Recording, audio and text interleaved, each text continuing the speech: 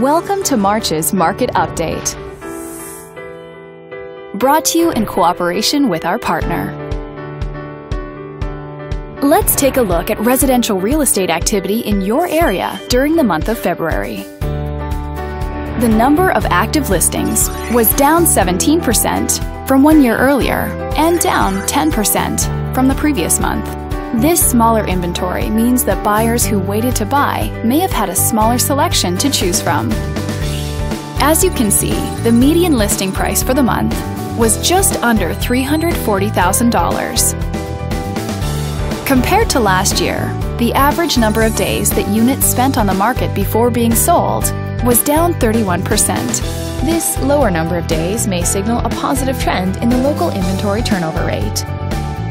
The median sale price was just under $280,000. The number of units sold increased 17% year over year and increased 54% month over month.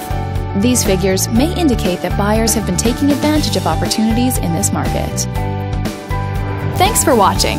We hope you use this information to make smart, informed decisions in your upcoming real estate transactions. Click on screen to contact us for more information or further assistance.